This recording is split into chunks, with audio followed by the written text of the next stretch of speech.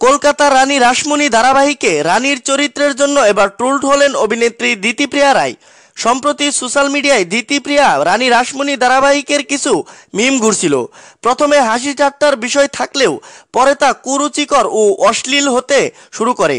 তা নিয়ে ক্ষোভ প্রকাশ করলেন দিতিপ্রিয়া বললেন, আমি প্রতিবাদ করলেও টুল হতো। তবে আমার ফ্যান ক্লাব পরিবারের অনেকে যারা সোশ্যাল মিডিয়া ব্যবহার করেন এবং অনেক সাধারণ মানুষও আমার সমর্থনে এগিয়ে এসেছেন, তারা এর প্রতিবাদ করেছেন। ঘটনার সূত্রপাত দিতিপ্রিয়ার মিম ছবি নিয়ে।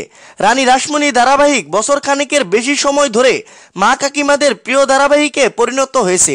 সপ্তদশী অভিনেত্রী দিতিপ্রিয়া রায় দক্ষতার সঙ্গে রানী রাসমণি চরিত্রে অভিনয় করছেন।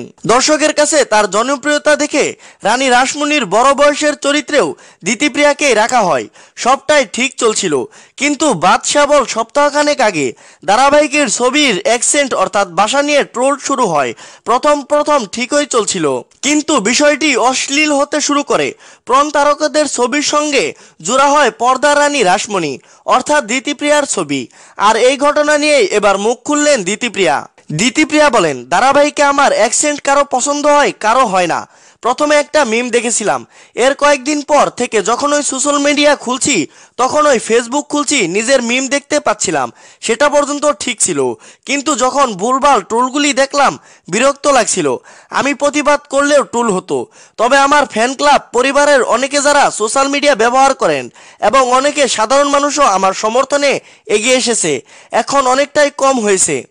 দুদিনের মধ্যে বিষয়টি না থামলে আইনি পথেও যেতে পারেন বলে জানিয়েছেন অভিনেত্রী। তবে দ্বিতীপ্রিয়া আরও জানান, তিনি ধারাবাহিক করছেন, তাই মানুষে তাকে চেনেন। তাকে নিয়ে ট্রোল হলে বলার লুক আছে। আমাদের কাজে উৎসাহিত করতে আমাদের চ্যানেলটি সাবস্ক্রাইব করুন।